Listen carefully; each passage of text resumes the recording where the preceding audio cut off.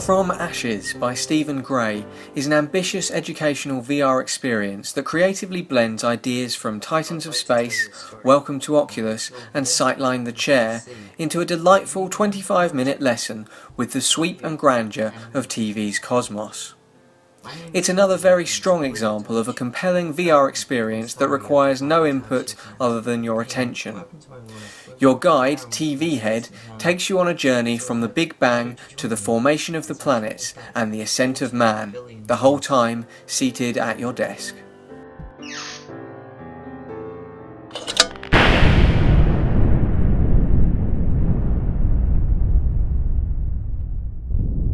The script is rather well written. It's a welcoming blend of science facts, poetry, and playfulness. It is well structured and informative even as it breezes through such heavy material. It culminates in some pretty bold suggestions about the cosmic significance of VR, but it sells them quite powerfully, at least to my sympathetic ears. Unfortunately, the narrator is no Carl Sagan or Neil deGrasse Tyson. He doesn't do a bad job, but it has to be said that his voice just doesn't have the gravitas that the subject matter demands. Stored on godly computer.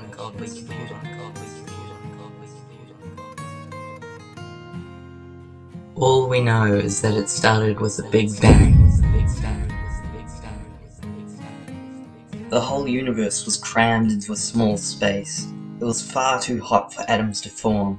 This is an elementless world, a cosmic soup of simplicity. Visually, some sections of the tour are definitely better than others, but almost all of them are very well composed, and there are lots of illustrative devices used to punctuate the narration. The Big Bang section makes inventive use of sound and stereoscopic 3D. The formation of the seas and the birth of life on Earth both play on a sense of presence and make good use of positional tracking.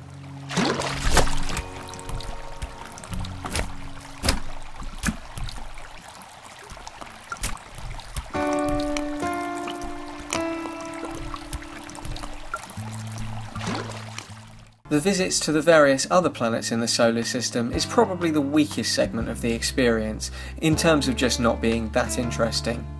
Most of the rest of the criticisms that can be levied against parts of the tour stem from animations not quite living up to the lofty ambitions of the piece. Many aren't bad and creatively work within the developer's limitations, but several action scenes fade to black to simply avoid animation altogether, which does stick out like a sore thumb.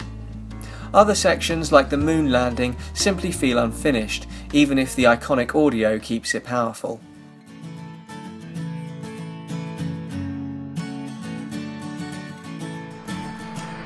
Houston, uh, Tranquility Base here. The Eagle has landed. It's one small step for man,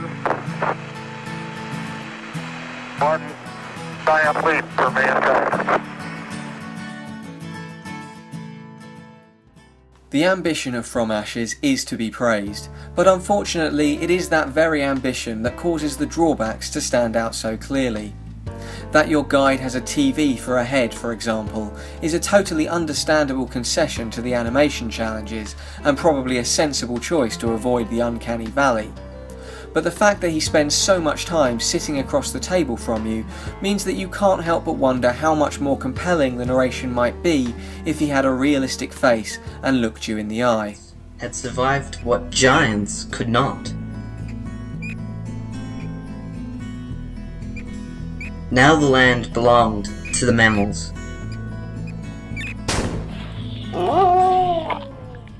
From Ashes is a very good educational experience that dares to think big in terms of subject matter and creative challenge. From a content and composition perspective, it holds together nicely and is well worth 25 minutes of your time if you're looking for more seated VR experiences.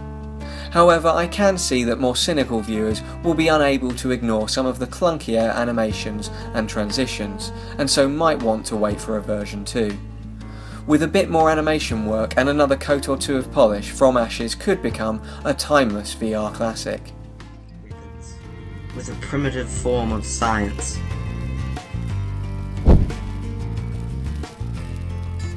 And how would you pass on what you had learned to your children? and all generations to come.